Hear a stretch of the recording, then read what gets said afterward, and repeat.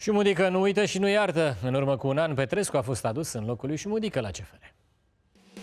Șumudică avea numai victorii în campionat când a fost dat afară de CFR. În Europa, Șumudică i-a calificat pe clujeni în Conference League, la fel ca Petrescu. Păi pe mine a vrut să mă schimbe domnul Varga când mă și calificasem. CFR-ul are cel mai bun lot din Liga 1. Exact ce și-a dorit Dan Petrescu. I, s-a făcut, i s-au făcut toate postele. Șumudică e șocat că FCSB este la retrogradare. Steaua este în, uh, într-o degringoladă totală în momentul de față. Există posibilitatea să nu prindă play-off-ul.